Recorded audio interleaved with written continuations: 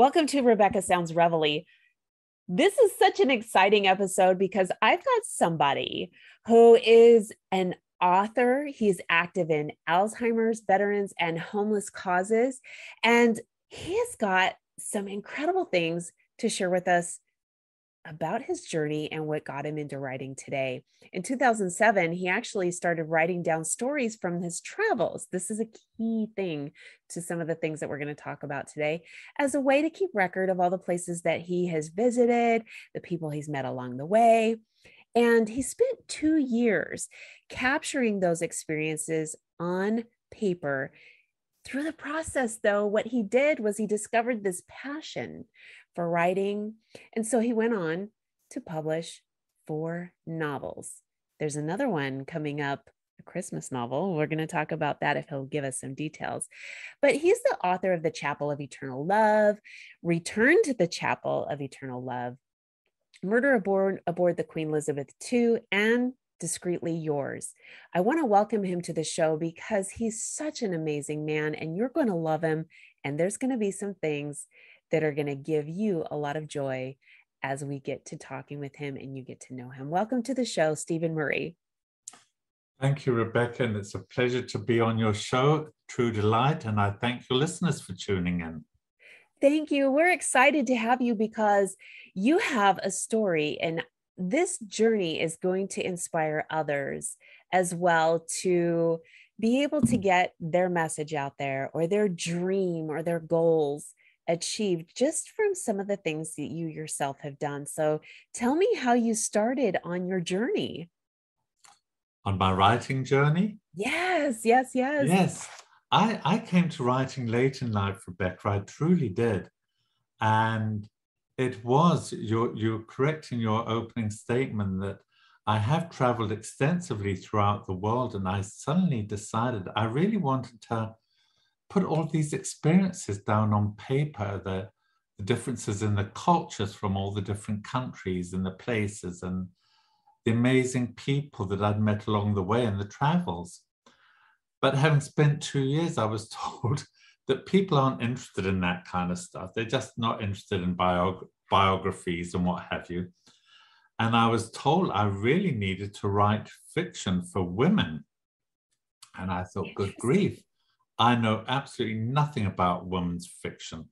I have never read a, uh, a Danielle Steel novel or a Barbara Cartland or Mary Higgins Clark novel. I'd never read anything like that. But I had discovered a joy of writing, you're correct. And I thought, I'm going to have a stab at this to see if I can do it. And I did it more of a, as a challenge and I just stumbled across the idea of writing about Las Vegas wedding chapel, a fictional one, of course. And um, that's where the story took off. And I never even intended to get it published. I just wrote it to see if I could do it. But that's another story in and of itself, how it came to be published and where the inspiration came from. But yes, that's what happened. That. I love that. So, how did you end up in Nevada? Because you actually uh, were born in England. That's correct. And I was raised in Southern Africa. And I grew up in Southern Africa and in Southern Rhodesia, was then Southern Rhodesia, it's now Zimbabwe. And I was also spent some time in Basutoland as a child, it's now Lesotho, and there were no schools there and I was sent to a boarding school in South Africa.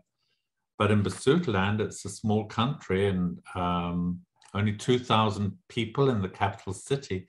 And if somebody had told me then, one day you're going to be living out, living in Las Vegas, the United States, writing about wedding chapels, I would have thought they were nuts. but, was not um, on your radar then. no, it certainly wasn't. But when I left school, I went back to live in England and then I got the offer job in Los Angeles, California. And I just cast caution to the wind and packed my bags and moved over to America. I'd never been here before, but I was relatively young. I was in my mid 20s and just thought, hey, let's see what happens. And it really was like a, a, whopping big tidal wave hitting me. You know, when you come to America, everything's so big and so huge and so vast, and everything's larger than life.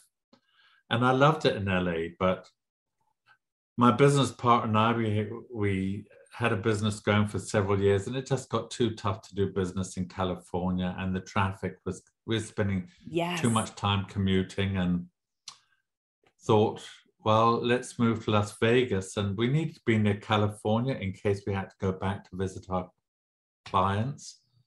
So we just thought, well, let's try Las Vegas. And I never dreamed I would love it so much. The people are just amazing. It's a wonderful city. Still got a small town feeling, you know, somehow, despite its growth. It does. Something of a small town feeling about it. It does. And I think with that, there's so many people in the community that have actually stayed together and connected through business and other things to not only build the town, but to sort of keep those roots there. That that's true. That's true. It's not quite as transient as I imagined it would be when I first moved here, you know, because we all tend to think of Las Vegas and the strip and the gambling and yes, and yes. the come and the go.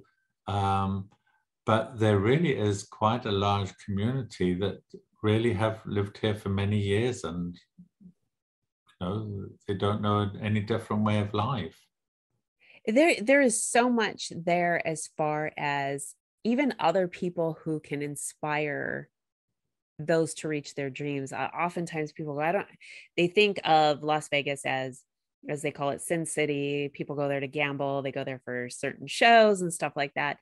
But there's so much more to that city than just those things. The, uh, there, there is, uh, Rebecca.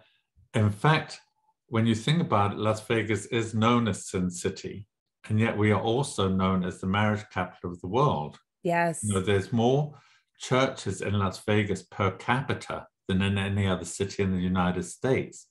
So that's kind of a strange dichotomy in and of itself. Yes. And then, of course, it's everything in between. And I never really thought of it as such until I moved here, but I think Las Vegas is a creative vortex because yes um, when I moved here, I, would certainly never met any writers or I never knew any authors. And now there's over 100 authors on my email list that live locally that are all, you know, creating books and literature. And then I know quite a few artists, you know, painting and drawing. And then you look at the shows, the, the creative imagination that goes into the shows and the casinos, all the the specialties in the casinos and everything. It's just a very creative and imaginative city. It yes. just is. Yes. I think that's what's part of its appeal. Yes. And I think this is important in the sense that people really help build each other's up through creativity and allow people to push beyond just certain stereotypes or even just getting in the mundane things of life, everything is always evolving and people do that right along with all of those things. So it's pretty exciting. And so your first book, tell me about this. Well, the first one published, as you you mentioned, was uh, the Chapel of Eternal Love, and I got the idea to write about it from some visitors who were uh, a client from overseas in Belgium, and they want to go and visit one of these wedding chapels. So I took them, and there was a couple waiting to go in and be married, and they were just sitting chatting, and we started talking with them. And I said it was a pity that they didn't have their friends and family, and there was nothing really to generate any sense of excitement about the event. And just said it would have been nice. I would have bought a bottle of champagne or something had I have known. and the bride just said, if you had have bought a bottle of champagne, I would have smashed it over his head. oh my! And she said that to her husband to be. And after I left, I thought, well, why would she say such a thing to a total stranger? You know? Yeah. Well, strangers. You know, there was the three of us. And I thought, I wonder why they're here and where are their friends? And that's when I thought, there's my book. That's yes. when I first got the idea. And I thought, by the time I got home, Rebecca, I had written all those stories in my mind as to why couples come to get married. And um, so I sat down and I started writing it, and it really never deviated from the original concept. All the stories that came to my mind on that drive home, each became a chapter in the book. And the reader spends a day at a fictional Las Vegas wedding chapel, and you meet all the couples as they come and go, and why have they come to Las Vegas? And more importantly, what are their reasons for falling in love? Because it's not a one size fits all emotion. You know, right. we all fall in love for different reasons. So it's not a romance book, but it is a book about love. And I never intended to get it published. I let it sit in the computer for two years and wrote my next book, which I took to get published. And I was told, no, no, no, you've got to go ahead with the Chapel of Eternal Love. At that time, I didn't even have a title for it because I never planned on publishing it. Sure. And then lo and behold, um, out it went. And much to my pleasant surprise and a very humbling one, I might add, it started garnering all these positive reviews and it ran, uh, won five star awards from readers' favorite and even won first prize in a mainstream category of the authors talk about it book contest. Oh. Which floored me. And even more so was that even though it's fiction, I started getting all these emails. Well, what happened to this couple? What happened to that couple? And what happened to all of them? And when's the sequel coming out? And of course, I never planned a sequel. So I then had to stop what I was doing and then come up with follow up stories for all of these couples in the first book. And that's called Return to the Chapel of Eternal Love. And it revisits all the couples five years down the road and why, where their lives' journeys have taken them. And that was a fun ride too, because it was never planned. Know? I love it. Some of the things that we do in life do come so unexpectedly, but it allows us to really launch into areas that give us so much passion and inspiration. And sometimes people say, I had no idea that I could write, or I can't write. And so when you hear that, knowing from your own journey, someone that says, Hey, I, I don't think I could do that, what would you say? You don't know. Well, one, you don't know until you try. Um, that's the, the, the first thing I would say. And I would follow it up by saying, you say you can't write, but if you are interested, make it happen.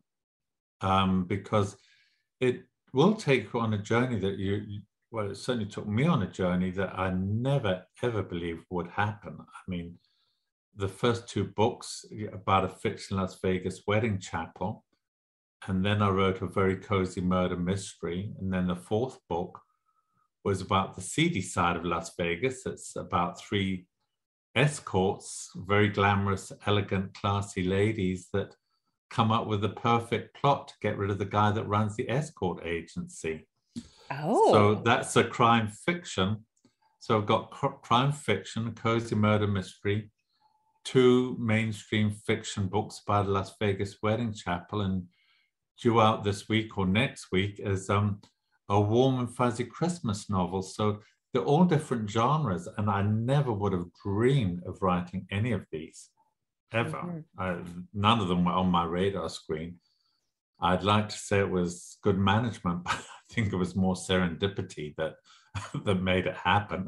I love this because it shows your versatility. It shows how creative one area of the brain can pursue creativity in another and so it I, I just love how we're wired and it allows us to do things not only that but being able to find talent within ourselves and inspiration within ourselves allows us to launch into other areas of life that we may not have expected either so for example like you being an author and some people will end up going on to having their own TV show or mm. becoming a motivational speaker or something along those lines. You just don't know where one thing, this endeavor that you do, is going to end up taking you. No, no question about it. Um, you're absolutely right on that. You just don't know where it's going to take where it's going to take you. Uh, for a start, I never ever thought I'd be going out on speaking engagements, and I, I kind of dreaded it. Oh. And I also dreaded the book signings. I thought, what am I going to say to these people when they ask me to sign a book? You know, oh sure, I don't know how to handle that or what to do, and I felt a little bit silly at first, but after a while, it's something again. I never expected to do public speaking or anything like that, but I found I really enjoyed it, and I've just. It's also the people you meet Rebecca, along the way that just make the journey so interesting. You just meet a lot of fascinating people, interesting people from all different walks of life.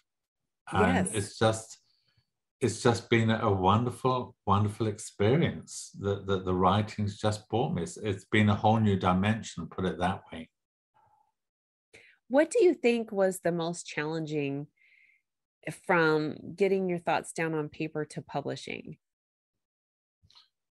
Um, well, I think the, the most challenging part for, for me, uh, all my books are based on imagination.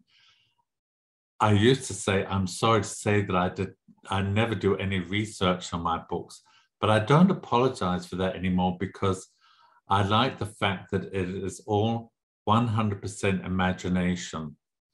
Um, discreetly yours about the three fictional escort ladies uh, when I'm giving talks, people, the first question is always, well, what kind of research did you do for the escort?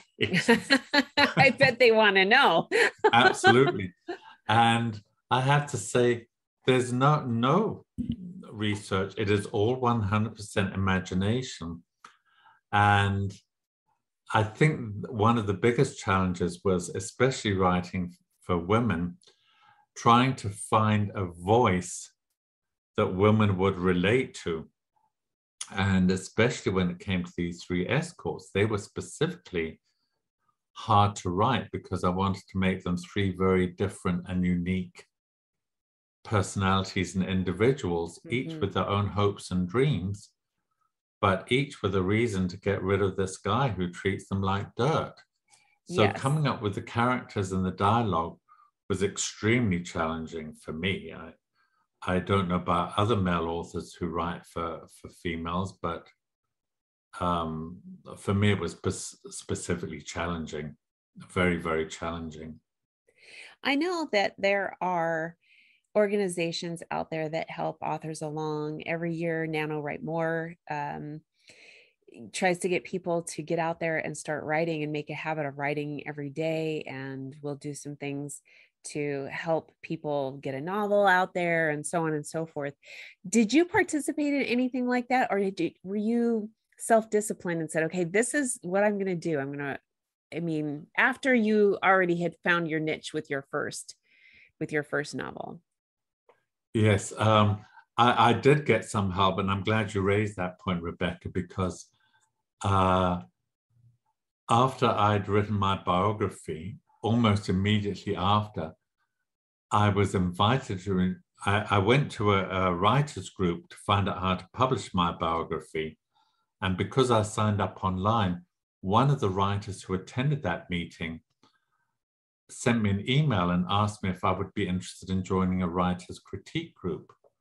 Well, I was so green and so naive, I didn't even know what a writer's critique group did. That's how raw I was to the business or industry.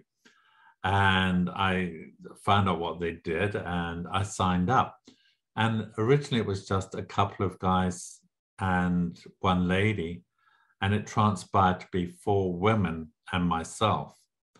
And these ladies, they have just been an absolute boon for me to write my books for women because they'll bring up things that I never thought of. And like in the chapel book, they'd say, Well, what's the bride wearing? I'd say, Who cares? That's not the story. And they say, Women like to know these things. They like yes. to know what's in the bouquet. They like to know what the ring looks like. It's true. I'd have to go back to the drawing board.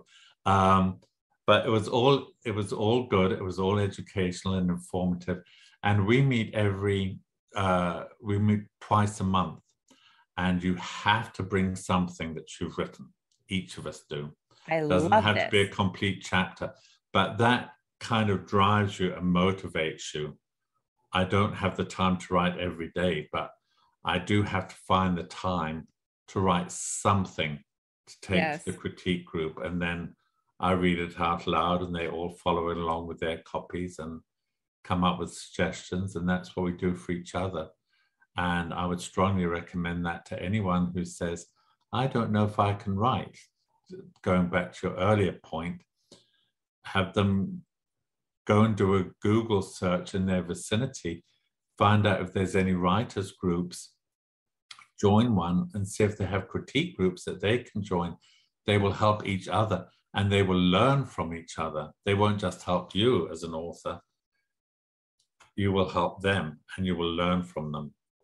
Totally valuable. Saying, yeah, I think what you're saying is so important on so many different levels, not just in the area of being an author, um, but on a lot of different levels by being involved with other people who share same interests it will allow you to become to really have more precision in the things that you do maybe become an expert or do further your expertise or even offer it to help someone who's trying to learn about something so that they too can uh, pursue their dreams and goals. And I think what you're saying is just so paramount because we really need to do that on and just so many different areas of our life have that mentorship and being a mentor also. It helps us grow professionally and personally and on it's i i really love it. And i think it's neat that you're still doing that. You've written four novels and you still do this and you have another novel coming out yes and and in our group now um, the nice thing is that we have people from different backgrounds with different perspectives on writing.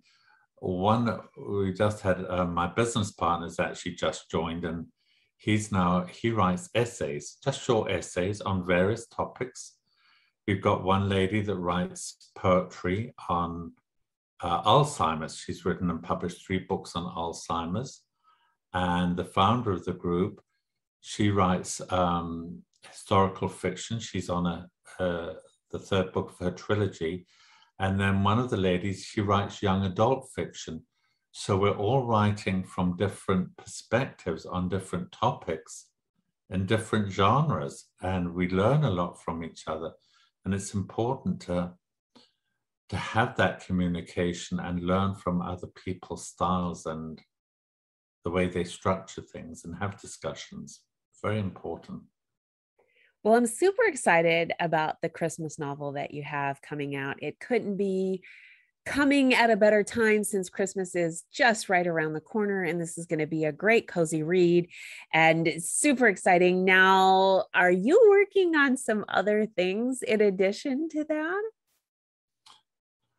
Um, not as it relates to writing. I, I'm just, I'm trying to get this book across the finish line, the Christmas, the Warm and Fuzzy Christmas book. It should be out by now, but it's at the final leap. I've just got to get it to the printers. I've now got the cover design and the typesetting's all been done in the editing. So it's just ready to, I've just got to get it to the printer and I'm waiting for them to call me back. So I'm not starting anything else until I get this book pushed out. But I am working on a fundraiser for some Nevada veterans that's going to take place on Veterans Day this year, November the 11th. And I'm putting a lot of time and effort into that please get me the information on that. Being a veteran myself, I am all for doing anything I can to help other veterans and other veteran organizations. Um, so please do share as much as you can with me on that so that I can help. I'll, I'll send it to you as soon as we get off the air. It's basically supporting an organization. I don't know if you're familiar with them called Homes for Our Troops. and Okay. they build and modify custom homes for veterans across the nations, veterans who have been severely wounded in combat. And they've got three housing projects they're working on here in Las Vegas, um, Las Vegas Valley. And so we're putting together a fundraiser for them specifically, and it's not going to build their homes, but hopefully it will move the projects along. And yes, I will send you the information. And speaking of information, why don't we get the uh, links and things that you would like for the audience to do to get copies of your books as well as connect with you so that they can follow you on your journey and continue to read more of your work and support the things that you're doing? Sure, they can reach out to my website, my author website is www.author Stephen, S T E P H E N, Murray, M U R R A Y dot com. And that will provide the links to all of my books. They can click on the pictures, and each of the books has got their own website. They can read the customer reviews, the professional reviews, upcoming events where I've got speaking engagements, book signings, podcast interviews like this one. And uh, it will also give a little bit of information about myself as an individual and uh, what I've been doing with my life so far. I love it. I love it. Thank you so much for sharing your time with us today. I think you're such an inspiration. I love what you're doing. And you're a very great example and role model for others who want to pursue their dreams. And you're doing it. Well, thank you very much, Rebecca. Um, I've enjoyed the opportunity of chatting with you. I've loved, I've loved our conversation. I truly have. And I really hope that your listeners enjoy the, this podcast as much as I've enjoyed being a guest. Oh, Thoroughly enjoyed it. And may your dreams and your listeners' dreams, may they all come true. oh, thank you. Thank you so much. And I want to thank all of you for tuning in to another episode of Rebecca Sounds Reveille. Always wanting to give you tools and resources to give you some inspiration and hope and to challenge you to start going down a path that's going to help you reach your dreams. And I ask that you share this with everybody you know on social media, everybody who's not on social media, all of your friends, family, loved ones, and everybody that you don't know. Thanks for tuning in.